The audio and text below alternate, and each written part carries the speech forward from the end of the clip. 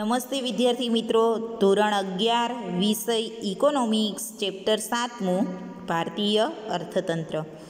વિદ્યાર્થી મિત્રો, આપણે વિકાસમાન ભારતીય અર્થતંત્રના લક્ષણો, તેની અંદર આપણે આગળના વિડીયોની અંદર આર્થિક વૃદ્ધિ અને રાષ્ટ્રીય આવકમાં વિવિધ ક્ષેત્રનો ફાળો, આ બે પોઈન્ટ એટલે કે બે લક્ષણ વિશે ચર્ચા કરી.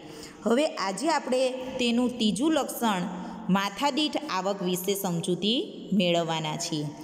તો માથાદીઠ આવક, તો ભારતમાં વર્ષ ઓગણીસો પચાસ એકાવનમાં સ્થિર ભાવોએ માથાદીઠ આવક રૂપિયા સાત હજાર એકસો ને ચૌદ હતી. કેટલી હતી? આપણને ટૂંકા પ્રશ્ન સ્વરૂપે પૂછાઈ શકે કે ભારતમાં ઓગણીસો પચાસ એકાવનમાં માથાદીઠ આવક કેટલા રૂપિયા હતી? તો સાત હજાર એકસો ને ચૌદ હતી. જે વર્ષ તેર ચૌદમાં વધીને ઓગણચાલીસ હજાર નવસો ને ચાર રૂપિયા થઈ.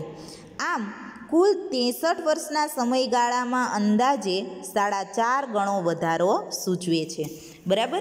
ત્રેસઠ વર્ષના સમયગાળાના અંદાજ મૂકતા માથાદીઠ આવકમાં કેટલો વધારો થાય છે? સાડા ચાર ગણો વધારો થાય છે. જેમાં વર્ષ ઓગણીસો પચાસ એકાવનથી વર્ષ ઓગણીસો નેવું એકાણુંના ગાળા તરફ ધ્યાન કેન્દ્રિત કરતા જણાય છે કે માથાદીઠ આવકમાં વાર્ષિક એક પોઈન્ટ છ ટકાના દરે વૃદ્ધિ થઈ છે. કેટલી? ઓગણીસો પચાસ એકાવનથી ઓગણીસો નેવું એકાણુંના સમયગાળા દરમિયાન જોઈએ તો માથાદીઠ આવકમાં વાર્ષિક વૃદ્ધિ એક પોઈન્ટ છ ટકાના દરે થઈ છે.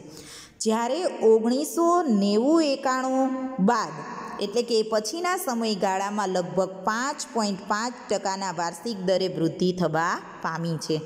જે સ્પષ્ટ કરે છે કે આર્થિક સુધારાની અસરને કારણે વૃદ્ધિનો દર ઝડપથી વધ્યો છે. એટલે કે આર્થિક સુધારાની જે વૈશ્વિકરણ છે, ખાનગીકરણ છે અને ઉદારીકરણ છે, આ આર્થિક જે સુધારાઓ થયા છે ઓગણીસો એકાણુંમાં, તેના કારણે આ વૃદ્ધિનો દર કેવો જોવા મળે છે? ઝડપી અને વધતો જોવા મળે છે. ત્યારબાદ, વિદ્યાર્થી મિત્રો, ચોથા પોઈન્ટ એટલે કે ચોથું લક્ષણ આપણું બનશે રોજગારીનું ક્ષેત્ર. વિદ્યાર્થી મિત્રો, આપણને ટૂંકા પ્રશ્ન સ્વરૂપે પણ પૂછાઈ શકે. એટલે કે રોજગારીના સ્તર વિશે જણાવો. એટલે કે રોજગારીના સ્તરના અંદર આવતા ત્રણેય ક્ષેત્રો વિશે જણાવો. તો આપણે પ્રાથમિક ક્ષેત્ર ઉદ્યોગ ક્ષેત્ર અને સેવા ક્ષેત્ર વિશે સમજૂતી લખી શકાય. જોઈએ, ભારતમાં રોજગારી માટેના ત્રણ ક્ષેત્રો તારવવામાં આવ્યા છે.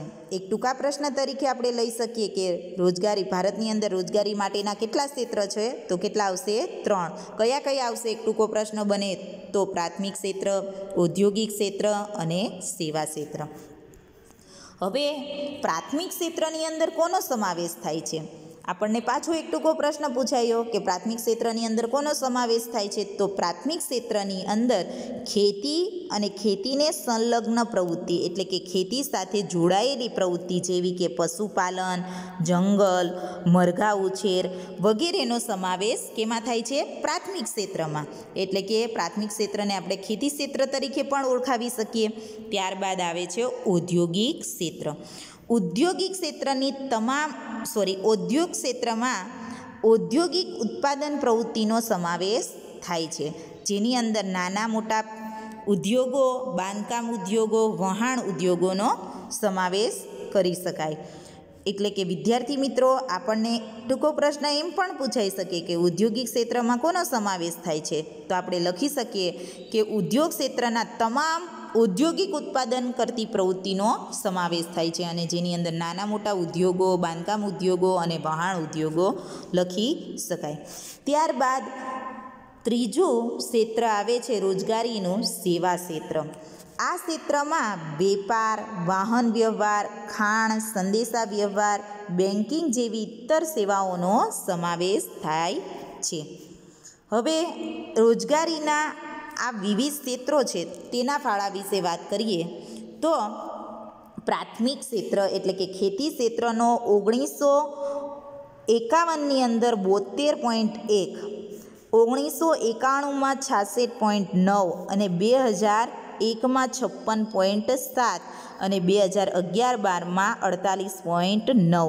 તો આની વાત કરીએ, તો પ્રાથમિક ક્ષેત્રની અંદર રોજગારીના જે ક્ષેત્રો છે, તેનો ફાળોમાં ખેતી ક્ષેત્રનો ફાળો ઘટતો જોવા મળે છે. બરાબર? પ્રાથમિક ક્ષેત્રનો. હવે ઔદ્યોગિક ક્ષેત્રની વાત કરીએ તો ઓગણીસો એકાવનમાં દસ પોઈન્ટ છ, ઓગણીસો એકાણુંમાં બાર પોઈન્ટ સાત, બે હજાર એકમાં અઢાર પોઈન્ટ એક અને બે હજાર અગિયાર બારમાં કેવું જોવા મળે છે? ચોવીસ પોઈન્ટ બે. તો આની વાત કરીએ તો આઝાદીના સમય બાદ બે હજાર અગિયાર બાર સુધી આપણે જોઈએ તો તેની અંદર વધારો જોવા મળે છે. ત્યારબાદ આપણું છેલ્લું ક્ષેત્ર સેવા ક્ષેત્રની વાત કરીએ તો ઓગણીસો એકાવનમાં સત્તર પોઈન્ટ બે સોરી ત્રણ. ઓગણીસો એકાણુંમાં વીસ પોઈન્ટ ચાર, બે હજાર એકમાં પચીસ પોઈન્ટ બે અને બે હજાર અગિયાર બારમાં છવ્વીસ પોઈન્ટ નવ. એટલે આની સેવા ક્ષેત્રના ફાળાની વાત કરીએ તો તેમાં ઉત્તરોત્તર વધારો થયેલો જોવા મળે છે. હવે જે વસ્તુ આપણે કોષ્ટકમાં વાત કરી, એ જ વસ્તુની આપણે વાત કરવાની છે કે ભારતમાં વર્ષ ઓગણીસો એકાવનમાં પ્રાથમિક ક્ષેત્ર પોતેર પોઈન્ટ એક ટકા ઔદ્યોગિક ક્ષેત્ર દસ પોઈન્ટ છ ટકા અને સેવા ક્ષેત્ર સત્તર પોઈન્ટ ત્રણ ટકા રોજગારીની તકો સર્જતા હતા. અને વર્ષ ઓગણીસો એકાણુંમાં પ્રાથમિક ક્ષેત્ર છાસઠ ટકા, છાસઠ પોઈન્ટ નવ ટકા, ઔદ્યોગિક ક્ષેત્ર બાર પોઈન્ટ સાત ટકા અને સેવા ક્ષેત્ર વીસ પોઈન્ટ ચાર ટકા રોજગારીનું સર્જન કરતો હતો. જ્યારે બે હજાર એકના વર્ષમાં પ્રાથમિક ક્ષેત્ર છપ્પન પોઈન્ટ સાત ટકા, ઔદ્યોગિક ક્ષેત્ર અઢાર પોઈન્ટ બે ટકા અને સેવા ક્ષેત્ર પચીસ પોઈન્ટ બે ટકા અને રોજગારીની તકો ઊભી કરતા હતા. આ જ રીતે વર્ષ બે હજાર અગિયાર બારમાં પ્રાથમિક ક્ષેત્ર અડતાલીસ પોઈન્ટ નવ ટકા, ઔદ્યોગિક ક્ષેત્ર ચોવીસ પોઈન્ટ ત્રણ ટકા અને સેવા ક્ષેત્ર છવ્વીસ પોઈન્ટ નવ ટકા રોજગારીની તકોનું સર્જન કરતો હતો. એટલે આ વસ્તુ જે કોષ્ટક અને લખાણ દ્વારા આપણે વાત કરી, તો એ વસ્તુ શું કહે છે? સ્વયં સ્પષ્ટ કરે છે કે ઓગણીસો એકાવન પછી એટલે કે આઝાદી બાદ બે હજાર અગિયાર બારના સમયગાળામાં લોકો રોજગારીના હેતુસર પ્રાથમિક ક્ષેત્રોમાંથી ઔદ્યોગિક ક્ષેત્ર અને સેવા ક્ષેત્ર તરફ વળ્યા હતા. ત્યારબાદ આપણે પાંચમો પોઈન્ટ પાયાની સુવિધાઓની વૃદ્ધિ તેની વાત કરીએ, તો પાયાની પાયાની સુવિધાઓની વૃદ્ધિ, તેની વાત કરીએ તો દેશની આર્થિક વૃદ્ધિનો દર પાયાની સુવિધાઓ પર નભે છે. હવે આવી પાયાની સુવિધાઓમાં શેનો સમાવેશ થાય છે? તો પાયાની સુવિધાઓ આપણે કોને કહી શકીએ? તો જેની અંદર વીજળી, શિક્ષણ આરોગ્ય સંદેશા વ્યવહાર વાહન વ્યવહાર, સિંચાઈની સગવડ વગેરે અગ્રતા ધરાવે છે. અને ભારતમાં પાયાની સુવિધાઓના સંબંધને આપણે નીચેના કેટલાક મુદ્દાઓ દ્વારા સ્પષ્ટ કરીએ. એટલે કે સિંચાઈની સગવડ. સિંચાઈની સગવડની વાત કરીએ તો વર્ષ ઓગણીસો પચાસ એકાવનમાં બાવીસ પોઈન્ટ છ મિલિયન હેક્ટરમાં સિંચાઈની સુવિધા હતી. જે વર્ષ બે હજાર તેર ચૌદમાં ત્રેસઠ મિલિયન હેક્ટર સુધી વિસ્તરણ પામી. આમ, કુલ પિસ્તાલીસ ટકાના વાવેતરનો વિસ્તાર સિંચાઈની સુવિધા હેઠળ આવરી લેવામાં આવેલ છે. અને શિક્ષણની સુવિધાની વાત કરીએ તો શિક્ષણની સુવિધાની વાત કરીએ તો ભારતમાં ભારતમાં આઝાદી સમયે વીસ યુનિવર્સિટીઓ વિદ્યાર્થી મિત્રો, ટૂંકા પ્રશ્ન તરીકે યાદ રાખજો કે ભારતમાં આઝાદી સમયે કેટલી યુનિવર્સિટી હતી? એક જનરલ નોલેજ તરીકે પણ યાદ રાખજો કે વીસ યુનિવર્સિટી આઝાદી સમયે અને પાંચસો કોલેજો હતી. જે આજે વૃદ્ધિ પામી અને પાંત્રીસ હજાર કોલેજો અને સાતસો ને ઓગણીસ યુનિવર્સિટીઓમાં પરિવર્તન પામી છે. ભારતનો સાક્ષરતા દર જે વર્ષ ઓગણીસો એકાવનમાં અઢાર પોઈન્ટ તેત્રીસ ટકા હતો, તે વર્ષ બે હજાર અગિયારમાં તોતેર ટકા સુધી વધ્યો છે. અને આ આંકડાઓ એમનેમ નથી લેવામાં આવ્યા. એ આર્થિક સર્વે બે હજાર તેર ચૌદના આંકડાઓ પરથી જણાવ્યું છે. ત્યારબાદ વીજળીની સુવિધાની વાત કરીએ તો ભારતમાં વીજળી ઉત્પાદનમાં પણ સિદ્ધિ હાંસલ કરવામાં આવેલ છે.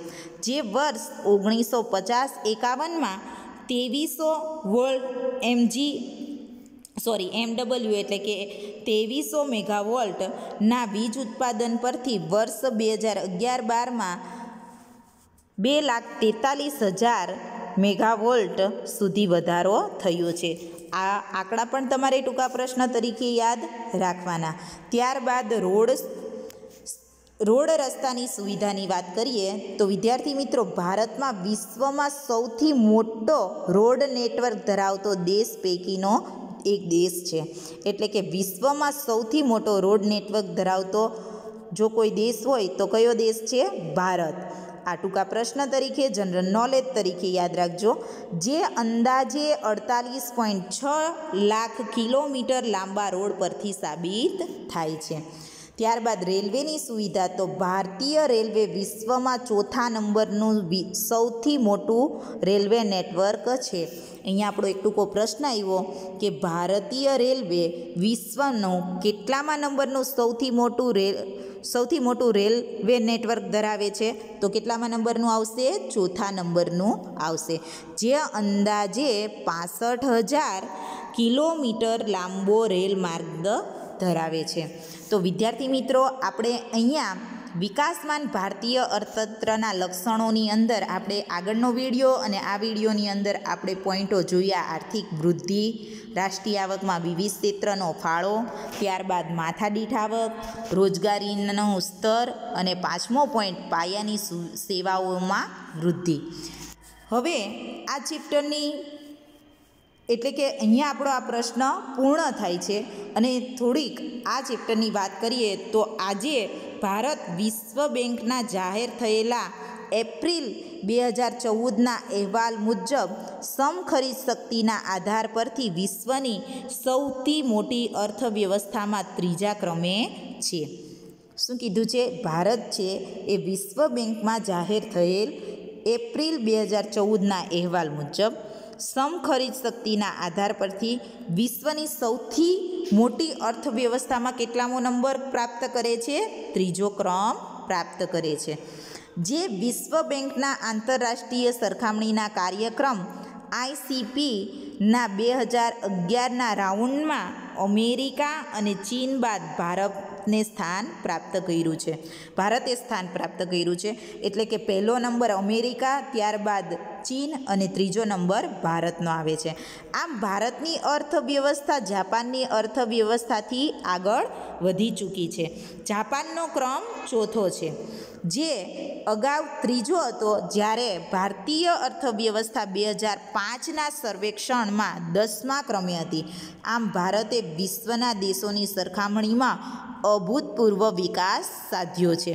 તો વિદ્યાર્થી મિત્રો, આ જે અહીંયા આપણે આપણું આ ચેપ્ટર સાતમું પૂર્ણ કરીએ છીએ ભારતીય અર્થતંત્ર. અસ્તુ.